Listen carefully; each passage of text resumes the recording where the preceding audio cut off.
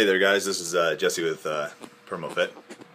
Hey, I just wanted to come bring you a uh, tomato update and I got some questions for all you gardening aficionados out there. I'm having some issues, ongoing issues with uh, well, just about every hydroponic tomato that I've ever tried growing. And uh, I'll show you here. So, this guy's doing the best out of all of them. Now, the first thing is I in the last couple videos I trimmed back all the all the leaves that were down in the bottom there. Now I've gotten quite a quite a bit more growth since then. I changed the water in the bucket. I dumped out the old stuff. I put in new nutrient solution, um, and I'm using this Pure Blend, Blend Pro as well as some, some added nitrogen and just a little bit of this uh, bloom nutrients, grow nutrients, and this micronutrients, as well as a tablespoon of Epsom salt dissolved in uh, 30 tablespoons of water, warm water, and then I let it cool off.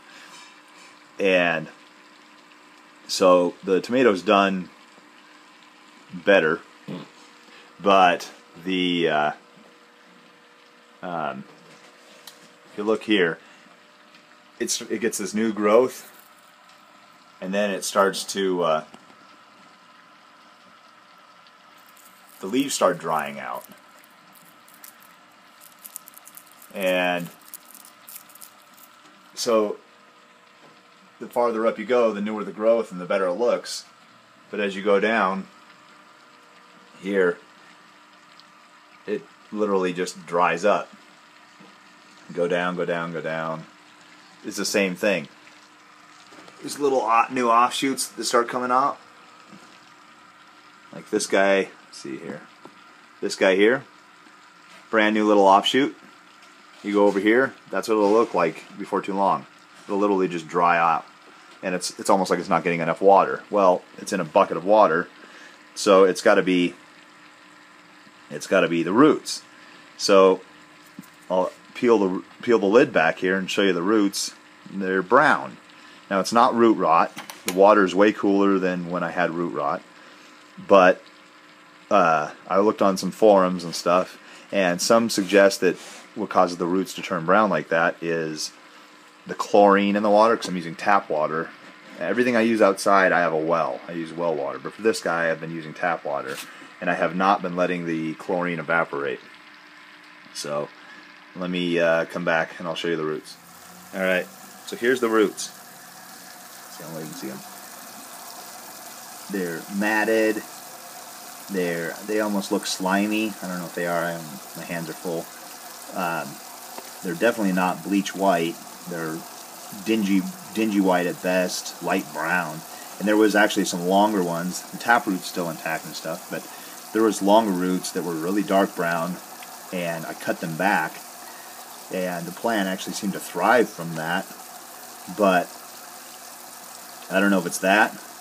Um, it's getting a fair amount of air and I just changed over the water so that really oxygenated the air. Now the only other thing is this kind of like seems like it's a hybrid Kratky method.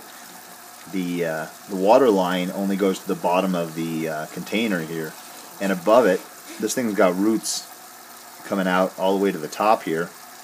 So those don't ever get exposed to water. So, uh, um, I don't know if there's, I mean, this is a gray bucket, it's not black, but it's better than the white one, so I don't know if it's getting too much light getting into the roots. And if that's the case, I can wrap the bucket. That's simple enough. But uh, if you guys know anything, I'd appreciate the help. So, otherwise, uh, for Perm PermoFit, this is uh, Jesse, and uh, please uh, comment, share, and if anyone knows anything, share the video so they can comment as well. Um, otherwise, thanks, guys, and don't forget to subscribe. Hey there, YouTube. This is uh, well, it's me. Uh, just wanted to let you know it's been 24 hours since uh, uh, I showed you my tomato plant and I just wanted to show you some things. Okay, so I've done a bunch of research, and turns out that some of the likely answers and reasons for the roots being the colors they were. Um, yeah, you can't really see in there, but uh, you saw them just a minute ago. But uh, one of the reasons is is a combination of chlorine in the water shocking the plant. Um, too high a concentration of nutrients, which I followed the uh, the instructions on the containers fairly accurately, but and there might be a little bit too much. And the fact that I guess tomatoes, as well as cucumbers and a few other plants, really suck up a lot of water. So what ends up happening is they use more water than they do nutrients. So as the water level goes down a little bit, the nutrient level water ratio changes and they end up having a lot of uh, more nutrients than necessary and or too much to handle and not enough water.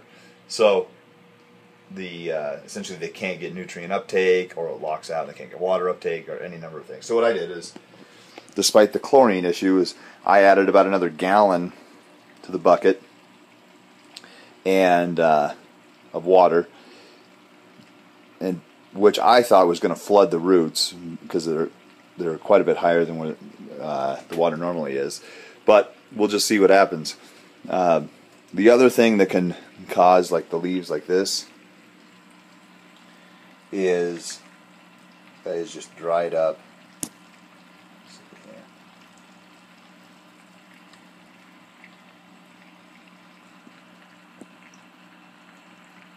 There you go. It's just dried up. And the other thing is possibly not enough light, but that not as likely to be the answer. So, anyways, so there's here's uh, I think I showed this to you yesterday. Um, here's one of the new growth leaves, and it seems to be doing all right. Um, I think that's the only one. But uh, anyways, so that's it for now. Hey, don't forget to like, subscribe, and if you have any suggestions, like I just mentioned a minute ago, um, please, please uh, leave a comment or send me a message. Um, if anyone's interested in uh, uh, promoting their channel, they can get a hold of me and we can work out a swap. All right, thanks.